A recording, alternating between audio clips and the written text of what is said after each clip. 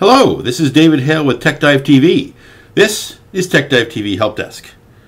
Now, today's episode of TechDive TV Help Desk actually has to do with apps. Just apps. I'm going to talk about three different apps that I use on my Android phone that you can use too.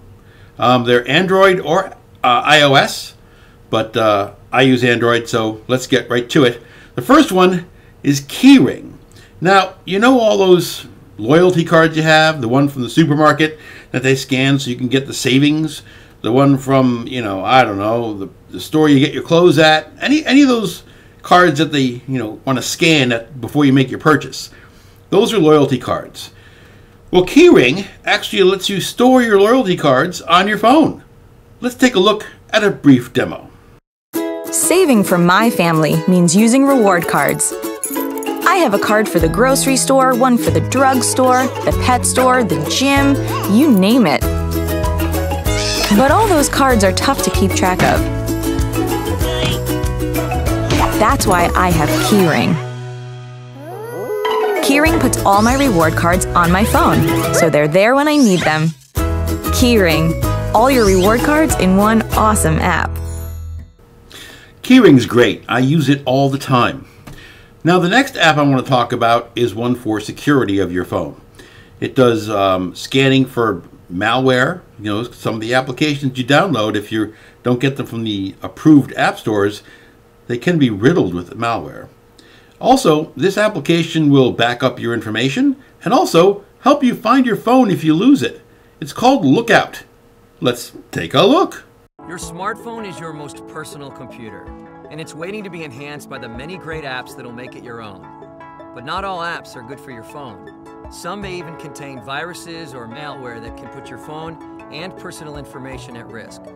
Lookout runs silently in the background, quickly and efficiently checking each app and blocking out the bad ones.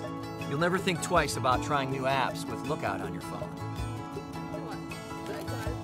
Lookout will seamlessly back up your contacts and photos to the cloud, that means never losing those important memories, even if something happens to your phone. Your backed up information can be accessed from any web browser and even transferred to a new phone.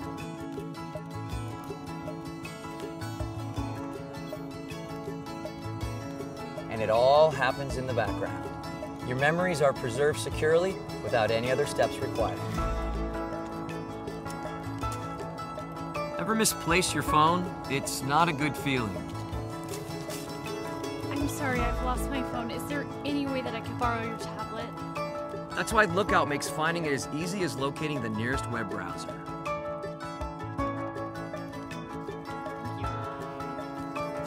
Losing your phone is not a good feeling, but finding it sure is. So go to mylookout.com to download Lookout for your smartphone. Your phone is your most personal computer.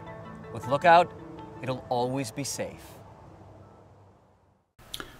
I run Lookout all the time, and I test it every once in a while to find out if it can find my phone, and so far, it always has. Now, the third application is probably the most innovative.